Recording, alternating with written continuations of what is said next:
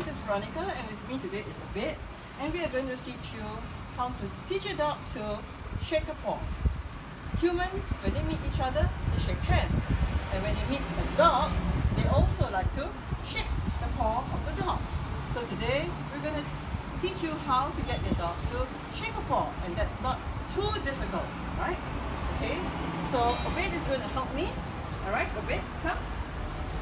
Sit, boy. Come, sit. Good boy. Yes.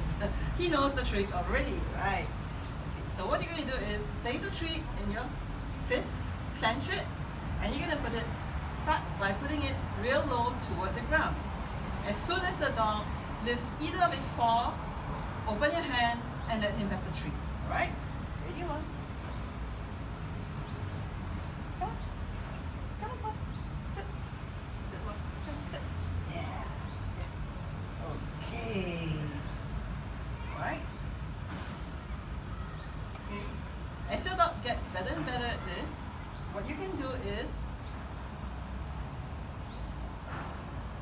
put your treats in the other hand, lift up your right hand and get him to paw. Hold the paw, support it while you give him the treat so that you are actually rewarding the dog while he is in the correct position. You may realize that some dogs tend to nose the treat rather than to put the paw or lift the paw up. So in that case, you would just tap the paw and get them to lift it up. And at the same time, you want, you want to remember that you want to always reward the dog while he is in the correct position. And that means when his paw is up. So as soon as he lifts his paw above the ground, you want to release that treat and let him have it. And that would be how he's going to learn how to shake his paw. Yeah, good boy.